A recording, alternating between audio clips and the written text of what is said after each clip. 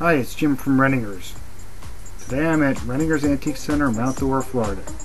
I was visiting with one of the shop owners, Nancy Fenner, of Better With Age Antiques Interiors in the Street of Shops, when I caught this exchange between her and one of her customers. Listen carefully, I think you'll find it interesting.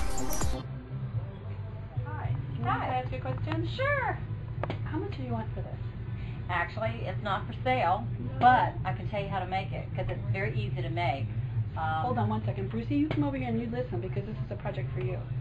This is where we call in Honey. Okay. Honey, you're the builder here. Okay. Actually, it's so simple. What I've taken is two windows. I love the European windows.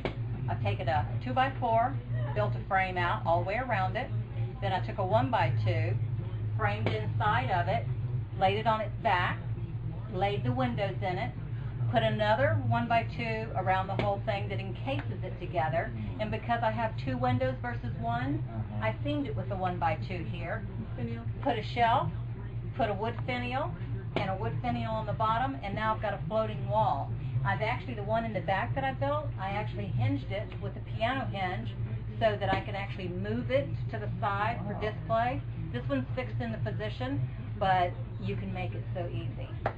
And I'm sorry this is not for sale, but this Do one's you fine. have access to these windows? Do you have, do From you sell time them from time to time? From time to time, I do get them because they are European windows. You probably will find them to be a little pricier than, you know, your regular six sash windows. Mm-hmm. But So I should check your website from time to time and email you? yes, just go to betterwithageantiques.com. Okay, Thanks great. for asking. Okay, great. And uh, by all means, keep in touch. Okay, thank you very much. very You're very welcome. Thanks.